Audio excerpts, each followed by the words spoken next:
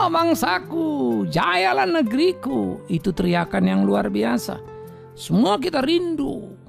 Bangsa kita terhormat, Indonesia tak boleh dipandang sebelah mata. Sejatinya, negara ini menyediakan kekayaan yang luar biasa. Alamnya tak terbilang. Pemandangannya sangat indah luar biasa. Menatanya yang kurang, semangat merusak yang ada.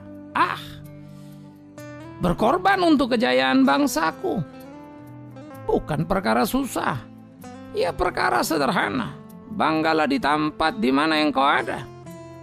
Jadilah pengawal hutan jikalau kau tinggal di sana. Jadilah pendigak kebersihan kalau kau tinggal di kota yang penuh dengan kejorokan. Hmm, Anda pun dapat menjadi pahlawan lautan dengan tak merusaknya. Sehingga ia tetap indah.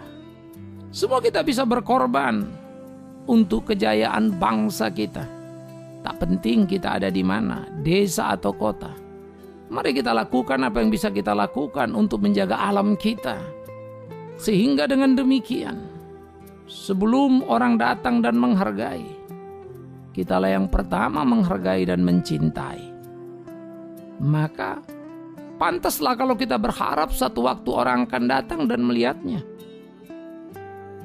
kerelaan kita, kesediaan kita menjaga keindahan negara tercinta akan membuat orang datang dan mendengar cerita mengapa kita melakukannya.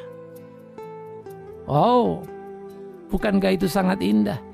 Karena kita bisa bertutur kata dan cerita kita saja pun bisa menjadi rentetan sejarah yang disuka oleh mereka yang datang dan berkunjung. Kagum betapa kita sangat mencintai bangsa, negara yang tercinta, Indonesia. Ayo, belajar berkorban untuk bangsa dengan melakukan yang baik di mana kita ada. Bersama saya, Bigman Sirait.